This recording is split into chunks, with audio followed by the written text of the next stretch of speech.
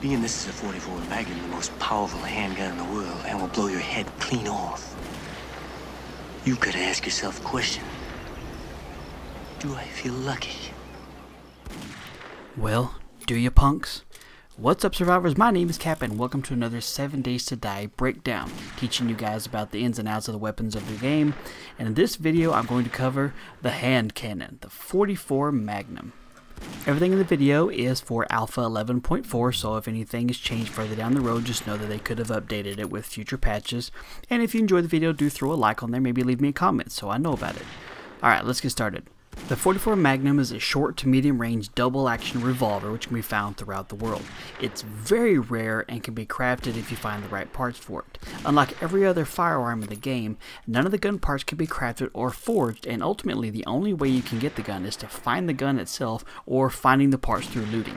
It uses 44 Magnum bullets and being a 6 shot revolver, it holds 6 total rounds before you have to reload again. It's designed after the Smith & Wesson Model 29, made famous by Clint Eastwood in the 1971 movie Dirty Harry. It does 120 entity damage to zombies, which means it'll kill almost every single thing in one shot, except for the big fat ones, it'll take two shots. It'll kill everything with one shot to the head though. Alright, I'll show you guys how to actually make this gun now. As I said earlier on, you cannot forge the pieces for this. You actually have to find all four pieces of them. You can't create a mold to make multiple of them. So unless you get lucky and find a full gun, you're going to have to find all four of these pieces to put it together. Got to have the Magnum grip, Magnum cylinder, Magnum parts, and the Magnum frame.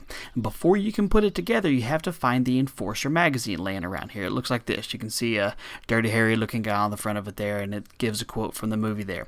Now when you use it, it'll say it shows you how to craft 44 Magnum rounds. Well, you have to have that in there to be able to craft the gun itself. If you try beforehand, it's not going to let you. So what you have to do is just put this into this order up here in the crafting tray and it will craft the 44 Magnum for you.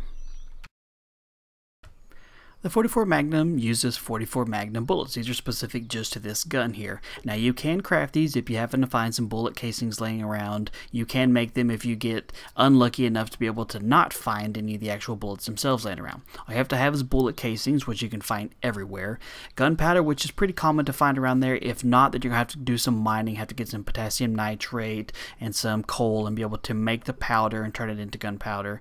And bullet tips. And then once you have them, you just place them into the crafting tray like this in this specific order and this will give you magnum bullets. Now the bullet tips are used for pretty much every kind of gun that's there. Now while you can't make an actual mold for the magnum itself, you can make a bullet tip mold if you have some uh, lumps of clay around here and put a bullet tip in this order here. This will give you the bullet tip mold. Then you can use scrap iron in the forge and make as many bullet tips as you need. So that will help you get some additional ammo if you're a little bit low.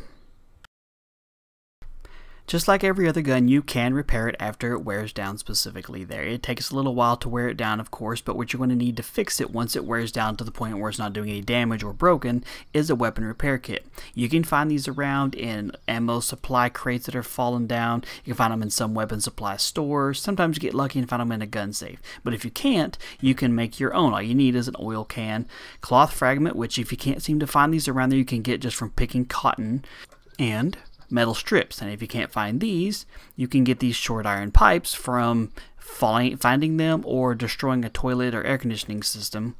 Put it in here and it gives you metal strips. Put it into the crafting tray like this and then you have your weapon repair kit. Now each one of these will repair it up to 40 so it may take a little bit to completely fill it back up since it goes up to over 400 when it's completely full. And that pretty much wraps it up. I hope you guys learned something from the video. If you have any questions or comments, do put them in the, you know, down there in the comment section, of course, and I'll answer them to the best of my ability. And hope you guys are able to find this. It's pretty hard to find all the pieces, but it's a wonderful gun when you get it, as you can see in the video. So you guys have a good one. Thank you for your support, and I will talk to you later.